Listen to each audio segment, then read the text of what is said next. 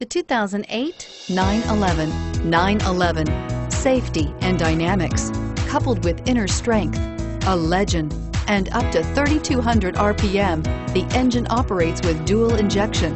At up to 2,500 RPM, it even works with triple injection. This vehicle has less than 40,000 miles. Here are some of this vehicle's great options. Traction control, keyless entry, leather-wrapped steering wheel, garage door opener, cruise control, anti-theft security system, side airbag, side airbag, airbags. Come take a test drive today.